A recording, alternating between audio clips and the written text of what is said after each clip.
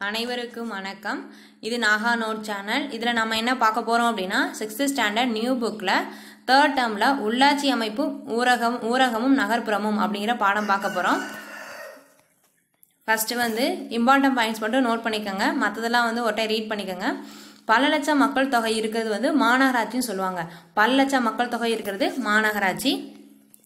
Next point வந்து இங்கே மாநகராட்சி வந்து மொத்தம் பதினஞ்சு இருக்குது இங்கே பன்னெண்டு தான் கொடுத்துருக்காங்க. மற்ற மூணையும் நோட் பண்ணிக்கோங்க.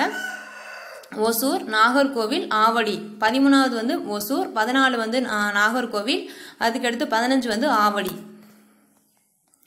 நெக்ஸ்ட்டு ரொம்ப இம்பார்ட்டன்ட் பாயிண்ட்டு ஆயிரத்தி தொள்ளாயிரத்தி அறுபது ஆயிரத்தி அறுநூற்றி எண்பத்தி எட்டில் உருவாக்கப்பட்ட சென்னை மாநகராட்சி தான் இந்தியாவிலே மிக பழமையான உள்ளாட்சி அமைப்புன்னு சொல்கிறாங்க ஆயிரத்தி அறுநூற்றி எண்பத்தி எட்டு ரொம்ப முக்கியம். அந்த டே இயர் பார்த்துக்கோங்க. சென்னை மாநகராட்சி தான் இந்தியாவிலே மிக பழமையான உள்ளாட்சி அமைப்புன்னு சொல்கிறாங்க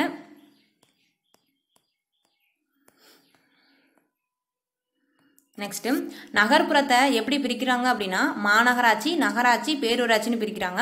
கிராமப்புறத்தை வந்து ஊராட்சி ஊராட்சி ஒன்றியம் மாவட்ட ஊராட்சின்னு சொல்லி பிரிக்கிறாங்க. இந்த மூணு தான் பிரிக்கிறதுக்கு தான் இந்த மூணு தான் பிரிக்கிறாங்கல்ல நகர்ப்புறத்தையும் கிராமப்புறத்தையும். இதுக்கு தான் வந்து மூன்று முறை பஞ்சாயத்துன்னு சொல்கிறாங்க ஒரு லட்சத்துக்கு அதிகமான மக்கள் இருந்தாங்கன்னா நகராட்சின்னு சொல்லுவாங்க. இதே பல லட்சத்துக்கு அதிகமான மக்கள் தொகை இருந்தால் மாநகராட்சி. தமிழ்நாட்டில் முதன் முதல்ல உருவாக்கப்பட்ட நகராட்சி எது அப்படின்னா வாலாஜாபேட்டை.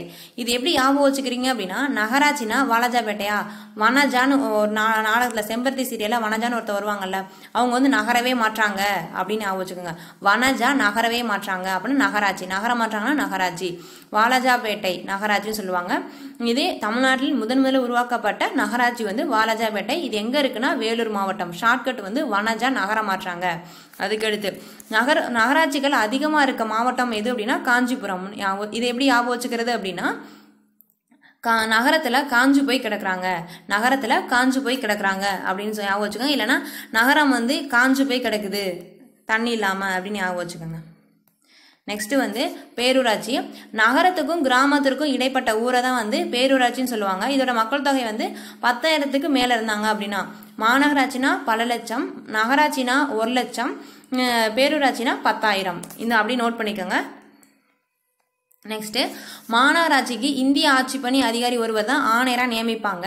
மாநகராட்சிக்கு அதை மேற் ப பணிகளை மேற்பார்வையிடுறது தான் இந்திய ஆட்சி பணி அதிகாரி ஒருவர் தான் ஆணையராக நியமிப்பாங்க. நகராட்சிக்கு ந- நகராட்சிகளுக்கு அரசு அதிகாரிகள் நகராட்சி ஆணையர்களாக நியமிக்கப்படுவாங்க. அரசு அதிகாரிகள் தான் வந்து நகராட்சி ஆணையராக நியமிக்கப்படுவாங்க. இங்கே வந்து மாநகராட்சிக்கு கலெக்டர் நியமிக்கப்படுவாங்க. நகராட்சிகளுக்கு அரசு அதிகாரிகள் நியமிக்கப்படுவாங்க. பேரூராட்சிக்கு வந்து செயல் அலுவலர் வந்து நிர்வாக அலுவலர் நியமிக்கப்படுவாங்க. நெக்ஸ்ட்டு கிராமங்களில் செயல்படும் உள்ளாட்சி அமைப்பு என்ன சொல்லுவாங்கன்னா கிராம ஊராட்சின்னு சொல்லுவாங்க. இப்போ கிராம ஊராட்சி மக்களுக்கும் அரசுக்கும் இடையே இணைப்பு பாலமாக இருக்குன்னு சொல்கிறாங்க ரொம்ப முக்கியம். கிராம ஊராட்சி தான் வந்து மக்களுக்கும் அரசுக்கும் இடையே இருக்க இணைப்பு பாலமாக செயல்படுதுன்னு சொல்கிறாங்க நெக்ஸ்ட் பாயிண்ட்டு இவங்களோட பிரதிநிதிகள்லாம் கொடுத்துருக்காங்க. ஒரு டைம் வாச்சுக்கோங்க ஊராட்சி ஒன்றியம். பல கிராமங்கள் ஒன்றிணைந்து ஊராட்சியம் ஊராட்சி ஒன்றியம் அமைக்கப்படுதுன்னு சொல்லியிருப்பாங்க. பல கிராமங்கள் ஒன்றிணைந்து பல கிராம ஊராட்சிகள் ஒன்றிணைந்து ஊராட்சி ஒன்றியம் அமைக்கிறாங்க. ஊராட்சியில் ஊராட்சி ஒன்றிய உறுப்பினர் வந்து ஒருவர் தேர்ந்தெடுக்கப்படுறாங்க. அவங்கள என்ன சொல்லுவாங்க? கவுன்சிலர்னு சொல்லுவாங்க. அந்த ஊராட்சி ஒன்றிய உறுப்பினர்களில் அதில் ஒருத்தவங்களை வந்து அங்கே தங்களில் ஒருத்தவங்களை தலைவராக தேர்ந்தெடுத்துப்பாங்க. அவங்கள வந்து என்ன சொல்லுவாங்க அப்படின்னா சேர்மன்னு சொல்லுவாங்க. அவங்கள ஒருத்தவங்களே துணைத் தலைவராகவும் தேர்ந்தெடுத்துப்பாங்க. ஓகேவா? இதில் ஊராட்சி ஒன்றிய உறுப்பினர் வந்து கவுன்சிலர் இந்த ஊராட்சி ஒன்றியத்தை மேற்பார்வையிடுறவங்க யார் அப்படின்னா வட்டார வளர்ச்சி அலுவலர் தான். மேற்பார்வையிடுறவங்க நிர்வாக அலுவலர் யாருன்னு கேட்டாலும் மேற்பார்வையிடுறவங்க யாருன்னு கேட்டாலும் வட்டார வளர்ச்சி அலுவலர்னு சொல்லணும். ஊராட்சி ஒன்றியத்துக்கு வட்டார வளர்ச்சி அலுவலர். இங்கே இந்த சைடு பார்த்தோம்ல மாநகராட்சிக்கு இந்திய ஆட்சி பண்ணி ஒருவர் இருப்பார். மா நகராட்சிக்கு வந்து நகராட்சி அரசு அதிகாரிகள் ஒருத்தவங்க இருப்பாங்க. பேரூராட்சிக்கு வந்து செயல் அலுவலர் ஒருத்தவங்க இருப்பாங்கன்னு சொன்னாங்கல்ல அதே மாதிரி தான் இங்கேயும் ஊராட்சி ஒன்றியத்துக்கு நிர்வாக அலுவலர் யார் இருப்பாங்கன்னா வட்டார வளர்ச்சி அலுவலர் இருப்பாங்க. நெக்ஸ்ட்டு விழுப்புரம் மாவட்டம் தான் அதிகப்படியான இருபத்தி ரெண்டு ஊராட்சி ஒன்றியங்கள் இருக்கு சொல்லியிருப்பாங்க. அதிகமான ஊராட்சி ஒன்றியம் எது? இருபத்தி ரெண்டு ஊராட்சி ஒன்றியம் இருக்கிறது எது? விழுப்புரத்தில். ஓகேவா நீலகிரிலையும் பெரம்பூர்லையும் மாவட்டம் ஒவ்வொரு மாவட்டத்துக்கும் தலா நாலு தான் இருக்குன்னு சொல்கிறாங்க நீலகிரிலையும் நாலு ஊராட்சி ஒன்றியம் தான் இருக்குது பெரம்பூர்லையும் நாலு ஒன்று ஊராட்சி ஒன்றியம் தான் இருக்குது அதுக்கடுத்து மாவட்ட ஊராட்சி. ஒவ்வொரு மாவட்டத்திலையும் ஒரு மாவட்ட ஊராட்சி அமைப்பு இருக்கும். இது ஐம்பதாயிரம் மக்கள் தொகைக்கு என்ற அடிப்படையில் மாவட்டம் வந்து பல பகுதியில் பிரிப்பாங்க. அந்த பகுதி உறுப்பினர்களை கிராம ஊராட்சி மக்கள் தேர்தல் மூலமாக நேரடியாக தேர்ந்தெடுப்பாங்க. மாவட்ட ஊராட்சி ஊராட்சி குழு உறுப்பினர்கள் தங்களில் ஒருத்தரை மாவட்ட குழு ஊராட்சி குழு தலைவராக தேர்ந்தெடுப்பாங்க. ஊராட்சி மற்றும் ஊராட்சி ஒன்றியம் வளர்ச்சி திட்டங்களை கண்காணிக்கிறதா இவங்களோட வேலை. மாவட்ட ஊராட்சியோட வேலையே அவங்களுக்கு கீழே இருக்க ஊராட்சியும் ஊராட்சி ஒன்றியங்களோட வளர்ச்சி திட்டங்களை கண்காணிக்கிறதான் தொகுதி என்னன்னு சொல்லுவாங்க அப்படின்னா பகுதிகள் வார்டுன்னு சொல்லுவாங்க. இவங்க பகுதி உறுப்பினர்களை எப்படி தேர்ந்தெடுப்பாங்க அப்படின்னா நேரடி தேர்தல் மூலமாக தேர்ந்தெடுப்பாங்க. மாநகராட்சி தலைவர் மேயரும் நகராட்சி தலைவரும் நேரடி தேர்தல் மூலமாக தேர்ந்தெடுக்கிறாங்க. மாநகராட்சி துணைத் தலைவரும் நகராட்சி துணைத் தலைவரும் அந்தந்த பகுதி வார்டு உறுப்பினர்களால் தேர்ந்தெடுக்கப்படுறாங்கன்னு சொல்லியிருப்பாங்க. அந்தந்த பகுதி உறுப்பினர்களாக அந்த வார்டு உறுப்பினர்களாக தேர்ந்தெடுத்துக்கிறாங்க அப்படின்னு சொல்கிறாங்க நெக்ஸ்ட்டு வந்து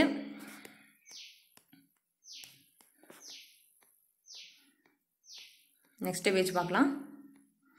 நெக்ஸ்ட் பேஜில் வந்து இம்பார்ட்டன் அப்படின்னா இந்த இடத்துல தான் இருக்குது ஒவ்வொரு ஊராட்சியிலையுமே கிராம சபை அமைச்சிருக்காங்க.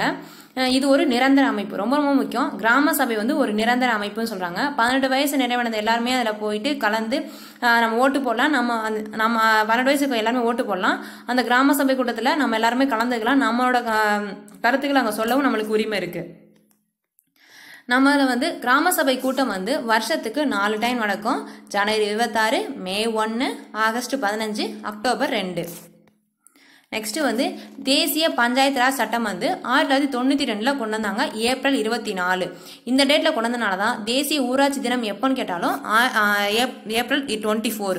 அந்த டேப்லெட் காலத்தில் இருக்குது உங்களுக்கு தெரியுமா அப்படின்றதுல இருக்கு பாருங்க. தேசிய ஊராட்சி தினம் வந்து ஏப்ரல் டுவெண்ட்டி ஃபோர். ஏன் அந்த டேட்டை விடுறாங்கன்னா தேசிய பஞ்சாயத்து ராஜ் சட்டம் வந்து கொண்டு வந்தது வந்து ஆயிரத்தி தொள்ளாயிரத்தி தொண்ணூற்றி ரெண்டு ஏப்ரல் டுவெண்ட்டி ஃபோர். ஓகே இது எப்படி ஞாபகம் வச்சுக்கிறீங்க அப்படின்னா தேசிய ஊராட்சி தினம் சொல்லி கேட்பாங்க இல்லைன்னா தேசிய பஞ்சாயத்து தினம்னு கூட கேட்பாங்க. எப்படி ஞாபகம் வச்சுக்கிறீங்க பஞ்சாயத்தில் இருக்கவங்க எல்லாருமே என்ன பண்ணுவாங்க? டுவெண்ட்டி ஃபோர் காசுமே நம்மளை ஏமாற்றிட்டு தான் இருப்பாங்க அப்படின்னு ஞாபகம் வச்சுக்கோங்க ஆனால் ஊராட்சியில் இருக்கவங்க டுவெண்ட்டி ஃபோர் காசுமே நம்மளை ஏமாற்றிட்டு இருப்பாங்க. டுவெண்ட்டி ஃபோர் காசுனா இருபத்தி நாலு ஏமாத்துவாங்கன்னா ஏப்ரல். நெக்ஸ்ட் உள்ளாட்சிகளில் பெண்களின் பங்குன்னு சொல்லியிருக்காங்க.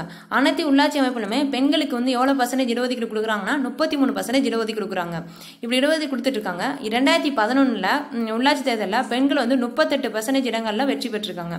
ரெண்டாயிரத்தி பதினொன்று நடைபெற்ற தேர்தலில் பெண்கள் வந்து முப்பத்தி எட்டு பர்சன்டேஜ் வந்து இடங்களில் அவங்க வெற்றி பெற்றிருக்காங்க. ரெண்டாயிரத்தி பதினாறாம் ஆண்டு தமிழக அரசு வந்து பெண்களுக்கு உள்ளாட்சி அமைப்பில் ஃபிஃப்டி பர்சன்டேஜ் வந்து இடஒதுக்கீடு கொடுத்து சட்டத்திருத்தம் செஞ்சிருக்கு. இதே வந்து இந்திய அளவில் முப்பத்தி மூணு பர்சன்டேஜ் வந்து இடஒதுக்கீடு கொடுத்துருக்காங்க. ஆனால் நம்ம தமிழ்நாட்டில் ரெண்டாயிரத்தி பதினாறில் ஃபிஃப்டி பர்சன்டேஜ் இடஒதுக்கீடு வந்து உள்ளாட்சி தேர்தலில் பெண்களுக்கு கொடுத்துருக்காங்க.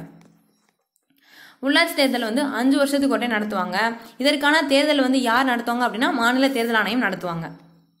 நெக்ஸ்ட் தமிழகத்திலோட மாநில தேர்தல் ஆணையம் எங்கே இருக்குது அப்படின்னா சென்னையில் கோயம்பேட்டில் இருக்குது நெக்ஸ்ட்டு பக்கத்தில் யூஸ் பண்ணி பார்த்துக்கோங்க கிராம ஊராட்சிகள் எவ்வளோ இருக்குன்னா இந்த முன்னாடி அவங்க புக்கில் கொடுத்துலாம் தப்பாக இருக்குது நான் பக்கத்தில் எழுதியிருக்கேன் பாருங்கள் அதை நோட் பண்ணிக்கோங்க. கிராம ஊராட்சிகள் எவ்வளோ இருக்குன்னா பன்னெண்டாயிரத்தி அறுநூத்தி இருபது இருக்கு. ஊராட்சி ஒன்றியங்கள் வந்து எட்நூத்தி எண்பத்தஞ்சு இருக்கு. மாவட்ட ஊராட்சிகள் முப்பத்தி ஒன்று இருக்கு. பேரூராட்சிகள் வந்து ஐநூத்தி அறுபத்தொன்று இருக்கு. மாநகராட்சிகள் நூத்தி நாற்பத்தி ஆறு இருக்கு. நகராட்சி சாரி நகராட்சிகள் நூத்தி நாற்பத்தாறு இருக்கு. மாநகராட்சிகள் வந்து பதினஞ்சு இருக்கு. நெக்ஸ்ட் புக் பேக் கொஸ்டின் பார்க்கலாம். இந்த மீல் பார்வை ஒரு டைம் வாட்ச் விட்டுக்கோங்க ரொம்ப முக்கியமாக இருக்கும். பல கிராம கிராம ஊராட்சிகள் ஒன்றிணைந்து உருவாக்கப்படுறது என்ன அப்படின்னா ஊராட்சி ஒன்றியம். பல கிராம கிராம ஊராட்சிகள் ஒன்றிணைந்து உருவாக்குறது ஊராட்சி ஒன்றியம். தேசிய ஊராட்சி தினம் எப்போ அப்படின்னா ஏப்ரல் டுவெண்ட்டி ஃபோர். இந்தியாவின் பழமையான உள்ளாட்சி அமைப்பாக அமைப்பாக கருதப்பட்ட நகரம் எது அப்படின்னா சென்னை. அதிகப்படியான ஊராட்சி ஒன்றியங்கள் உள்ள மாவட்டம் எது அப்படின்னா விழுப்புரம். மாநகராட்சியின் தலைவர் வந்து மேயர். மாநகராட்சியின் தலைவர் வந்து மேயர். இந்தியாவிலேயே இது ஒரே நோட் பண்ணுறேன் பார்த்துக்கோங்க. பல கிராம பல கிராம ஊராட்சிகள் இணைந்துள்ளது ஊராட்சி ஒன்றியம். இதோட டேட் வந்து ஏப்ரல் டுவெண்ட்டி ஃபோரு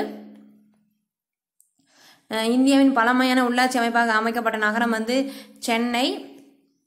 அதிகப்படியான ஊராட்சி ஒன்றியங்கள் உள்ளது வந்து விழுப்புரம். மாநகராட்சி தலைவர் வந்து மேயர். நெக்ஸ்ட் இந்தியாவிலேயே பேரூராட்சி என்ற அமைப்பை அறிமுகப்படுத்திய மாநிலம் எது அப்படின்னா பேரூராட்சினா தமிழ்நாடு தான் பஞ்சாயத்து ராஜ் சட்டம் கொண்டு வரப்பட்ட ஆண்டு அப்படின்னா ஆயிரத்தி தொள்ளாயிரத்தி தொண்ணூற்றி ரெண்டு. உள்ளாட்சி பிரதிநிதிகளின் பதவிக்காலம் எப்படின்னா அஞ்சு வருஷம். தமிழ்நாட்டில் முதன் முதலாக உருவாக்கப்பட்ட நகராட்சி எதுன்னு கேட்டிருக்காங்க வாலாஜாபேட்டை. அதுக்கு ஷார்ட்கட் வந்து வனஜா நகரமாற்றா. கிராம சபை அப்படின்னா ஒரு நிரந்தர அமைப்பு. கிராம சபை அப்படிங்கிறது ஒரு நிரந்தர அமைப்பு. இதான் ஒன்று ஊராட்சி ஒன்றியம் அப்படின்னா ஊராட்சி ஒன்றியத்தை வந்து மேற்பார்வையிறவங்க யார்?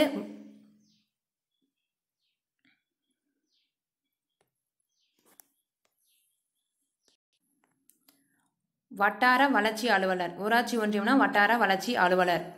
பேரூராட்சி அப்படின்னா செயல் அலுவலர். உள்ளாட்சி தேர்தல் அப்படின்னா மாநில தேர்தல் ஆணையம். கிராம சபைனா நிரந்தர அமைப்பு. ஊராட்சி ஒன்றியம் அப்படின்னா வட்டார வளர்ச்சி அலுவலர். பேரூராட்சி அப்படின்னா செயல் அலுவலர். உள்ளாட்சி தேர்தல் அப்படின்னா மாநில தேர்தல் ஆணையம். Thank you friends